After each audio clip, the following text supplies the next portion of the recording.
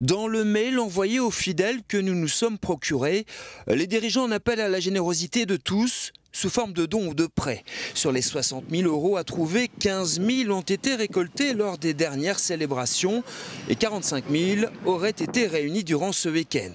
Un soulagement pour les dirigeants qui invitent ainsi toute sanction pénale.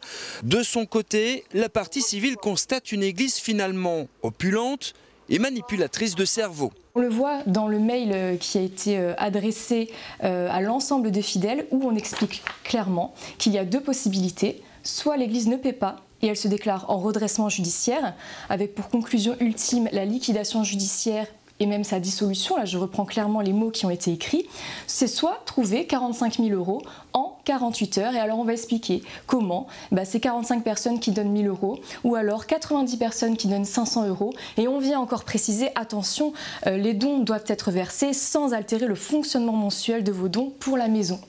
Donc on a une véritable manipulation des fidèles, de leur foi, où on explique soit vous payez, soit votre église, elle va disparaître. Une caution payée, mais pas pour autant salutaire.